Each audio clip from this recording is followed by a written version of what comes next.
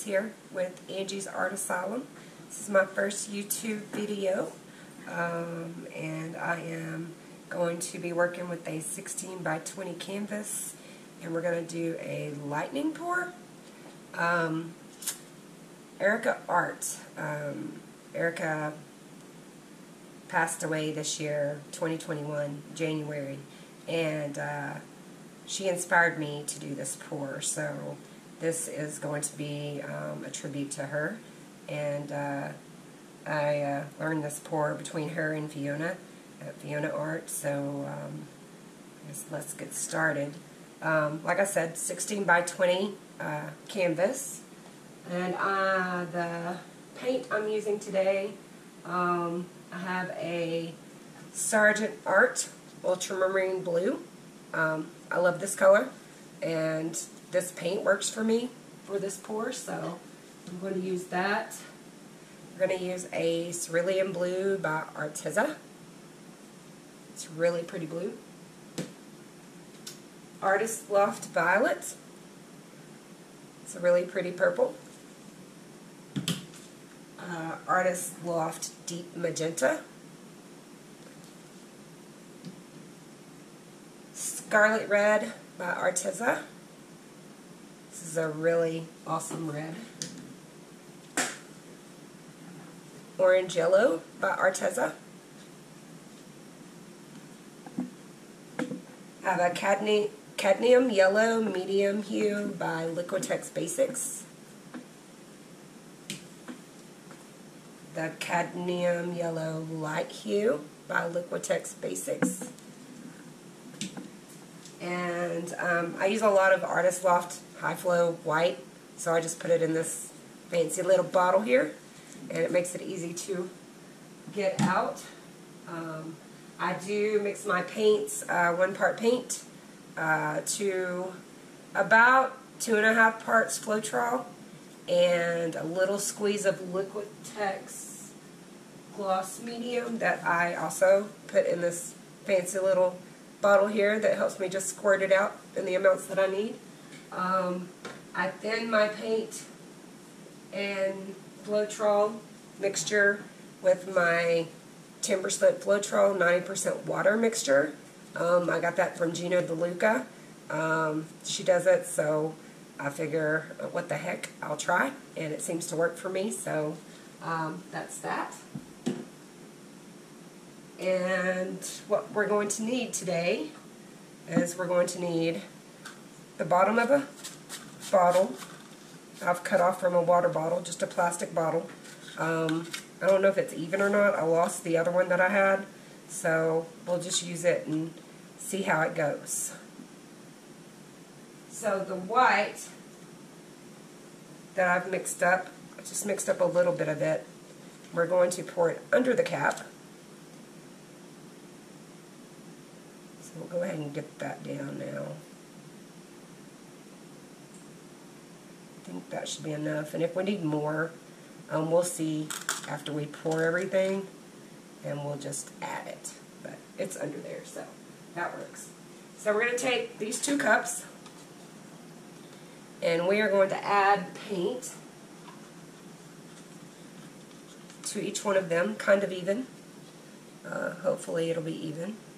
We need about 12 ounces of paint for this canvas.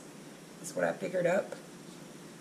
And I have about 18 ounces done up, so I think we're gonna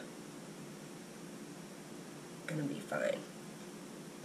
And the paint consistency is, I don't know if you can see it or not, but um, it just kind of flows into the cup you can kind of see it for just a second, and then it disappears.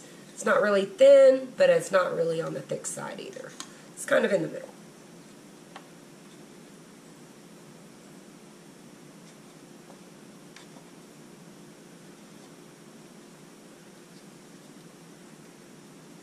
This is uh, one of the pours that I really uh, absolutely love.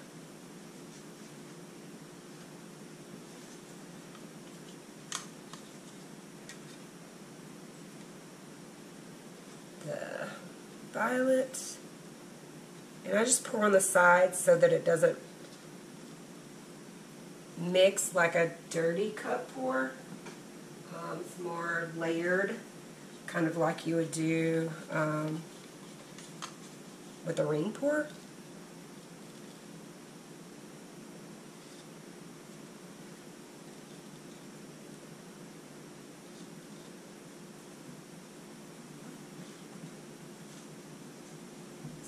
Red, scarlet red, so pretty.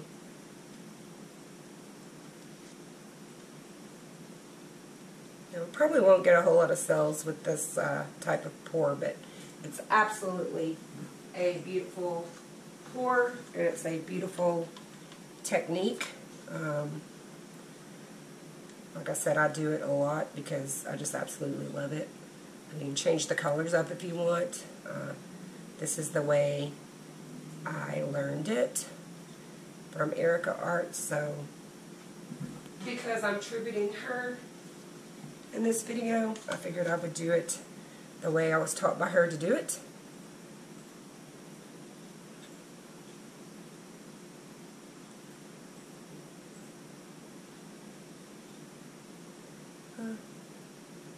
One of these I got more paint in it, so it'll be alright, I think. I think we're good. And last one is this light cadmium yellow. Yeah, it stayed on top. Usually it tries to float to the bottom on me, so we're good. Alright. Almost evened it out. So, we've got our white down. I'm going to put this one away. And we're going to pour from the yellow.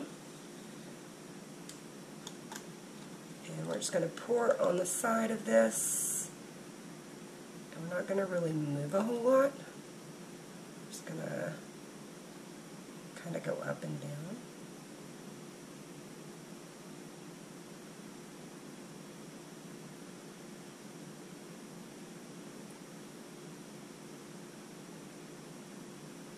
So um, hopefully it didn't get too thinned out.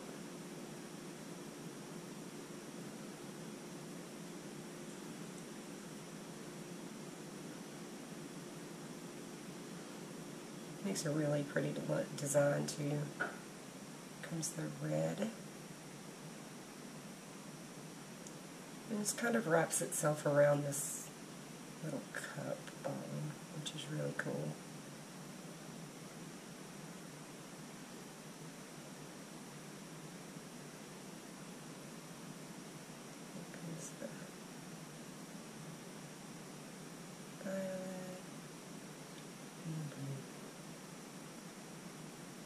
That blue's so pretty.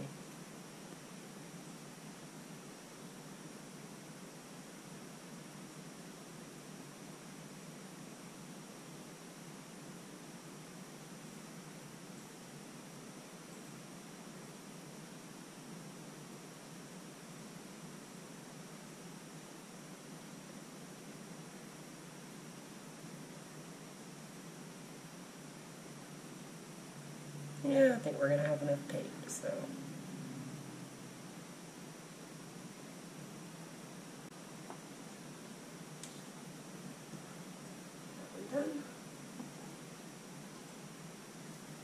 I do have a flow extender um, that I'm also going to use, but it's just made of drips, and I kind of just uh, thinned it down a little bit with some water. So I'm going to move this, because it's not the cap that I had, move this so that it kind of goes down the same side. And we're going to start with the yellow again. Same thing.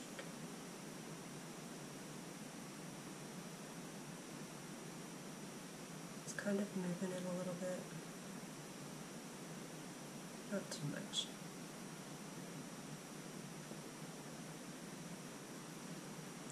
And this pour is really a pour that anyone could start doing. Um, I did. I think I might have done this, maybe this, I don't know, about the 10th time that I poured, I think pretty much I had done this pour and I've done it, I don't know, five or six times since then. I really like it.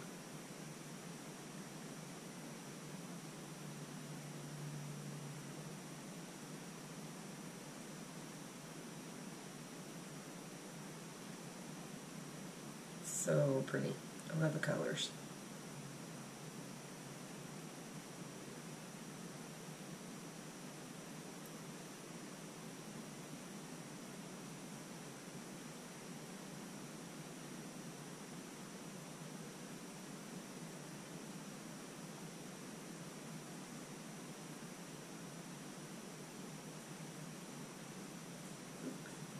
Okay.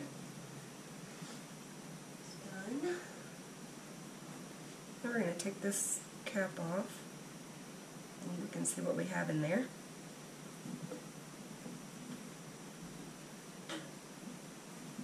My fingers off. So now I'm just going to take a little bit more white because I like a big white center. I'm going to go over some of this here.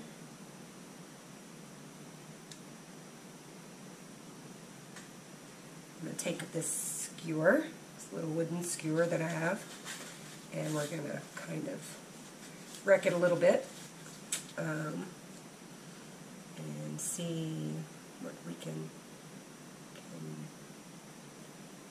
come up with.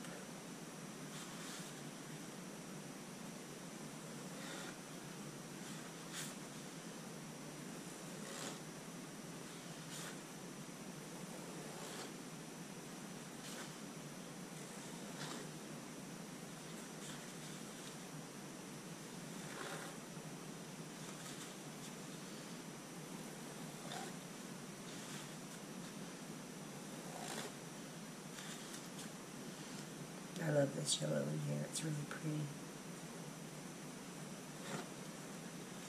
To kind of grab those couple of colors so that we can get a little more definition when you start tilting it.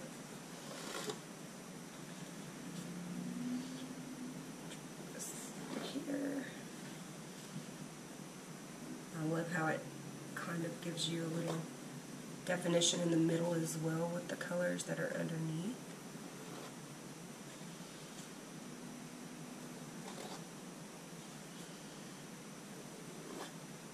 I think that works for now. We can always go back and add more once we tilt it. Change my mind. Be that right there.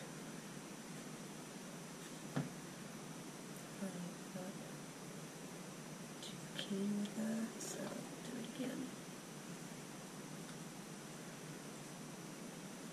That looks good.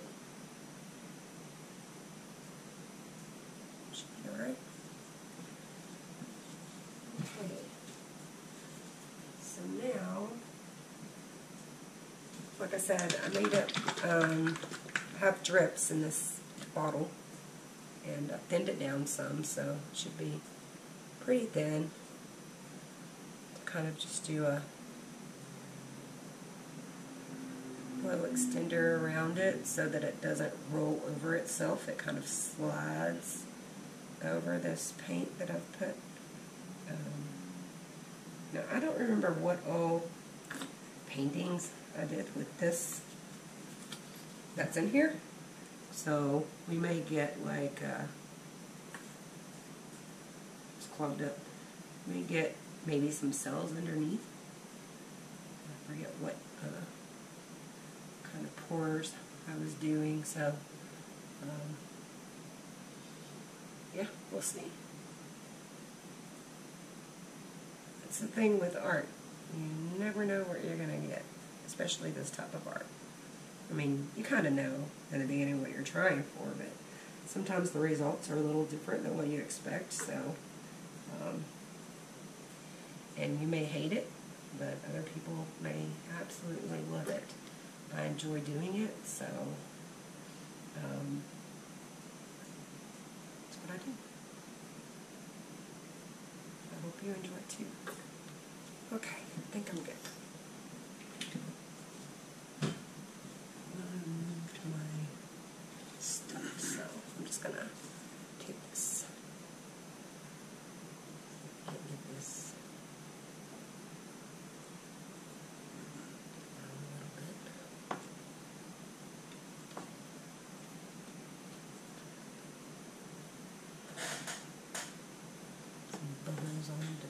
in a minute. That red is so pretty.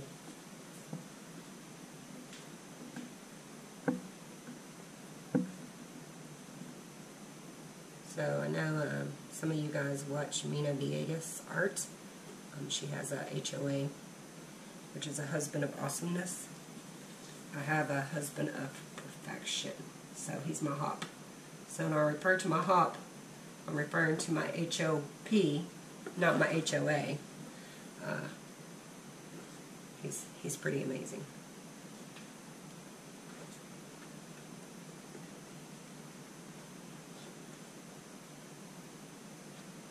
Alright, I think it's almost time to start tilting. We will blow some air bubbles first. And uh, get this going. Right, my head's- Bob, take a picture of that one time. Yeah. Sorry. Go ahead. You're good. Obviously, it was a legitimate compliment because I was nowhere to hear it. okay.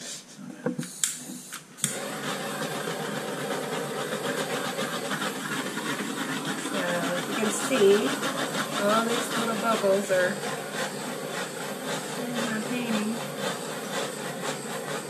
So it's really important that you have a heat gun or little torch so that you can get these bubbles out of this paint.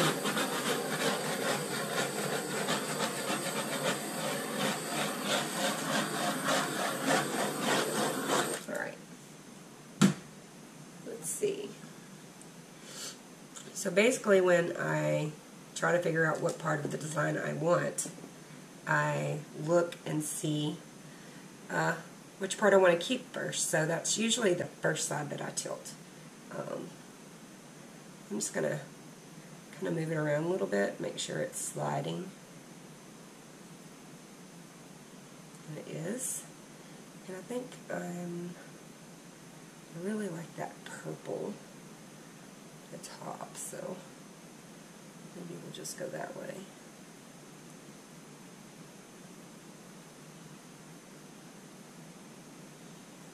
When it moves, there it goes. It's starting to move now. And walk it down to edge over the corner.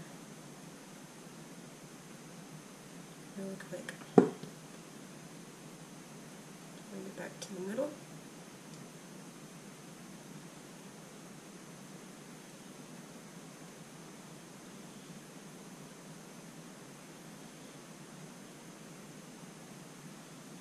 It's coming down here, so I'm just going to let it slide. Bring it back to the center. I love that blue. It's so pretty. Um, where's my paint? I'm paint down a little bit. I'm gonna go over to this corner. Really slow. I'm just gonna inch it over.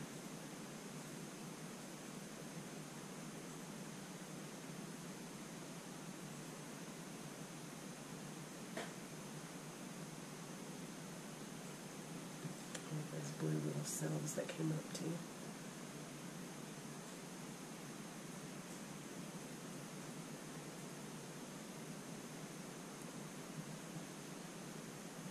Kind of got like a ghosty thing going on in the middle, so we'll see how that works.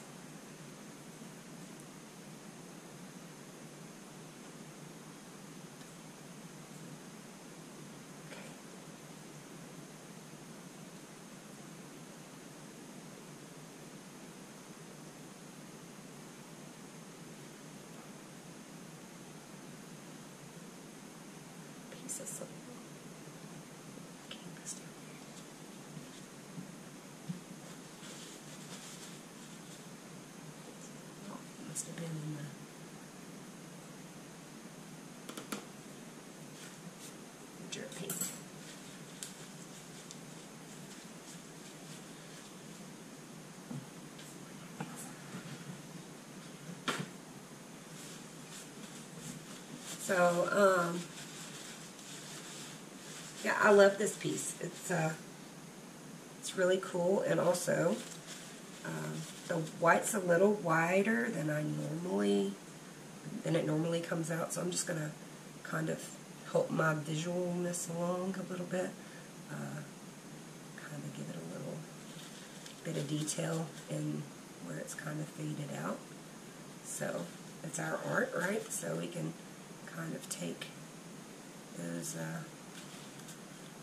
chances to kind of fix it the way we want to.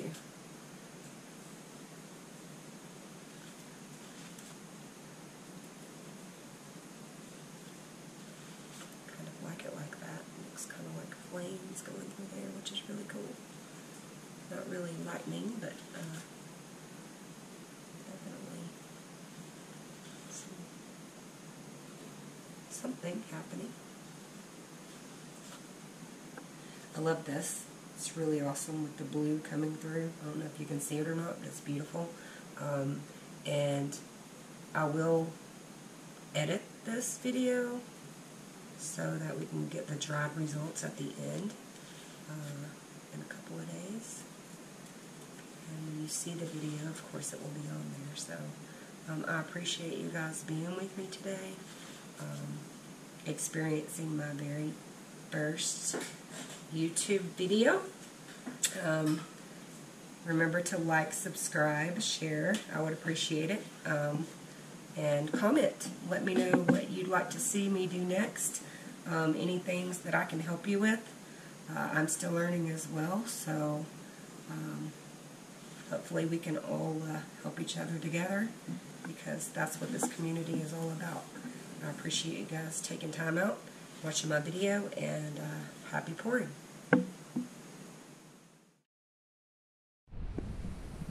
Okay guys, it's dry time and this picture turned out beautiful. Um, remember the red I was talking about? That red is so pretty and those blues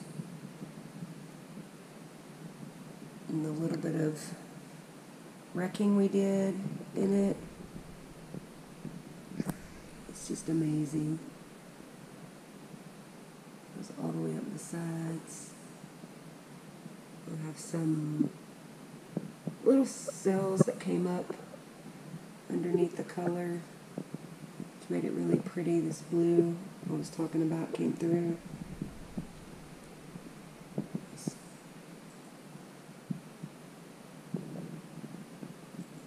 So yeah, you guys can definitely do this pour.